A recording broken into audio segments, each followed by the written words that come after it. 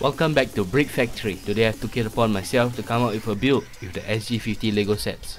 Not one, but four sets. I think I'm gonna come up with something humanoid, but I'm not too sure yet. Just looking at the parts, I can already tell the color scheme. Well, just stay for a bit and I'll show you what I came up with.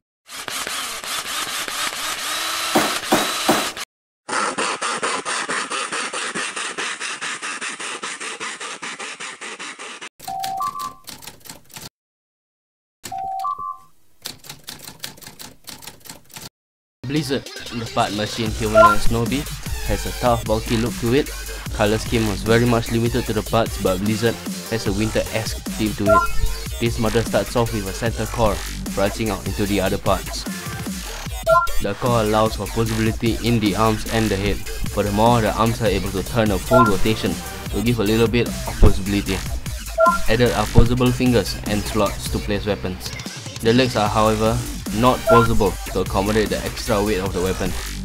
Finished it off with a giant mallet and now it's ready to destroy.